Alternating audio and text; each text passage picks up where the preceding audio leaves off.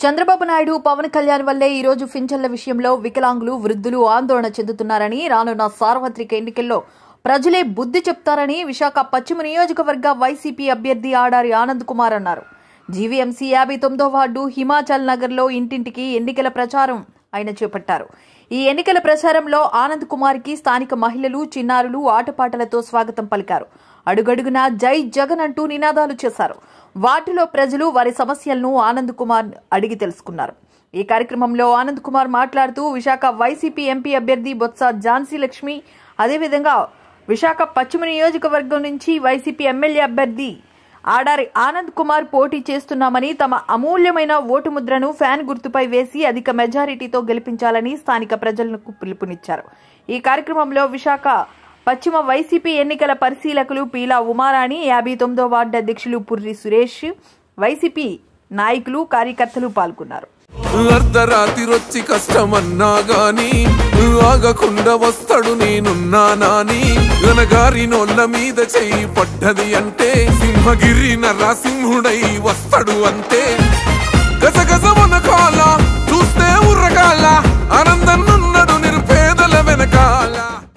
ఈరోజు యాభై తొమ్మిదో వార్డులో మరి పురు సురేష్ గారు అలాగే రావల్ సత్యనారాయణ గారి ఆధ్వర్యంలో నేను అలాగే ఉమారాణి గారు ఇద్దరు కూడా ఈ గడప గడపకి అంటే ప్రతి ఇంటికి కూడా ప్రచారం చేయడం జరుగుతుంది.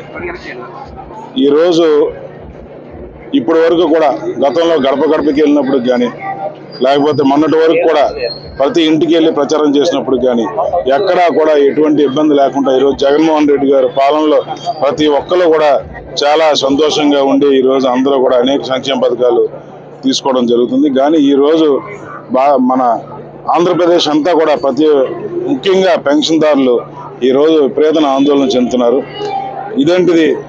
మళ్ళీ గతంలో చంద్రబాబు నాయుడికి మనం ఓటేసి గెలిపించాం కానీ మనం రోడ్డు మీద పడికాపులు కాసి ఈ రోజు నాడు మనం పెన్షన్ తీసుకుంటే వాళ్ళం ఆ రోజు నాడు. ఈ రోజు జగన్మోహన్ రెడ్డి గారు వచ్చి ఒకటో తారీఖు వచ్చి ఇంటికి వచ్చి ఇస్తున్నారు ఈ రోజు రెండో అయింది రేపు మూడో తారీఖు అవుతుంది. ఇప్పటికి వచ్చి పెన్షన్స్ రాలేదు. ఏంటి మా పరిస్థితి అని చెప్పేసి వాళ్ళందరూ కూడా ఆందోళన చెందుతున్నారు. మరి వాలంటీర్లను కూడా అంటే చాలా దుర్భాష అన్నదానికంటే ఇంకా దాన్ని ఒక దారుణమైన భాషలోని ఒక టెర్రరిస్టు ఐఎస్ఐ తీవ్రవాదులని ఈ విధంగా రకరకాలుగా టీడీపీలో చంద్రబాబు నాయుడు దగ్గర నుంచి కింద స్థాయి వరకు అటు పవన్ కళ్యాణ్ కానీ వీళ్ళందరూ కూడా ఏంటంటే చాలా దారుణంగా మాట్లాడడం జరుగుతుంది. వాళ్ళు కూడా ఒకటే అంటున్నారు ఈరోజు మూకుమ్మడి రాజకీయ మూకుమ్మడిగా రాజీనామాలు జరుగుతున్నాయి. వాళ్ళు ఏమమ్మా ఎందుకు అలా చేస్తున్నారు అని అంటే సార్ మేము జగన్మోహన్ రెడ్డి గారు మాకు అవకాశం ఇచ్చారు. మేము కష్టపడి రోజు కూడా పెన్షన్లు ఇవ్వడం జరుగుతుంది. కరోనా టైంలో ఎవరు వచ్చారండి బయటకు? మేము మేము తప్ప. నిజమే కదా? కరోనా టైంలో కూడా ఈరోజు ముసలి వాళ్ళు బయటకు వస్తే వాళ్ళ ప్రాణాలకి ఇదని చెప్పి వీళ్ళు ప్రాణాలు అడ్డుపెట్టి ఆల్మోస్ట్ రెండున్నర సంవత్సరాలు పెన్షన్లు వాళ్ళ ద్వారా ఇవ్వడం జరిగింది. అప్పుడు కూడా ఒకటో తారీఖునే ఇవ్వడం జరిగింది. అటువంటి అంత ప్రాణ ప్రాణాలను త్యాగం చేసి వాళ్ళు ఈరోజు సర్వీస్ చేసినప్పుడు వాళ్ళని అంత దుర్భాష మాట్లాడి ఈ రోజు వీధుల్లో తిరుగుతుంటే ముసలాళ్ళు ఏడుస్తామా అమ్మ మా పరిస్థితి ఏంటి? అంటే వాళ్ళు తట్టుకోలేక ఈరోజు వెళ్ళి రాజీనామా చేయడం జరిగింది. అంటే చంద్రబాబు నాయుడు ప్రభుత్వం ఏంటంటే అతనికి ప్రజలు అంటే ఎటువంటి పరిస్థితుల్లో ఆయనకి పట్టదు. ఈ రోజు ఆయన గ్రాఫ్ పడిపోయింది. ఆ గ్రాఫ్ పడిపోయిందంటే ఓట్ బ్యాంక్ తగ్గిపోయింది. తగ్గిపోయింది కాబట్టి ఈ రోజు దాని జనసేన కావాలి. బీజేపీ కావాలి. ఈ రెండు కలిస్తే ఓట్ బ్యాంక్ పెరుగుతుంది. నేను గెలిచేస్తాను. మళ్ళీ ప్రజలను తొక్కివచ్చు వాళ్ళ నా ప్రజల తాలూకా